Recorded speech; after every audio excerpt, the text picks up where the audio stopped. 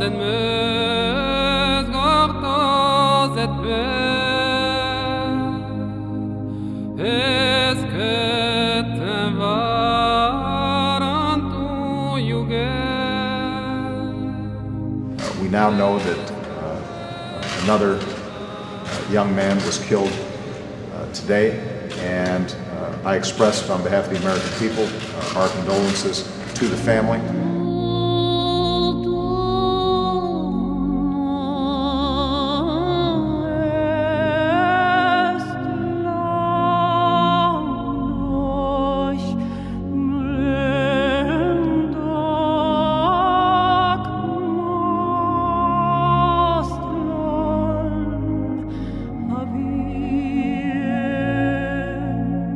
But let there be no misunderstanding.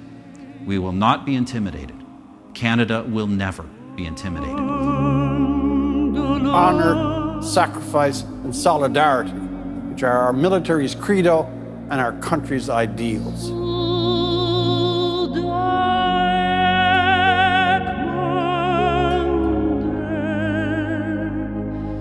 The killer was a hateful brute.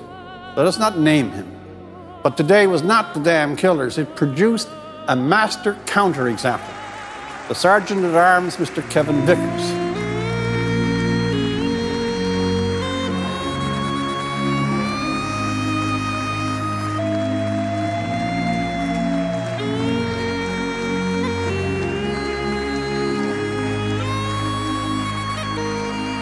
acknowledging specifically the work of the security forces here on Parliament and the great work of our Sergeant at Arms.